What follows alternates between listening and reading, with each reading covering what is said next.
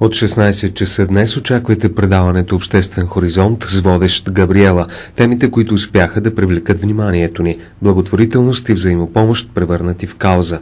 Ще си говорим и за Европа. Реалистично. Накрая Габи ще разкаже един виц за журналисти.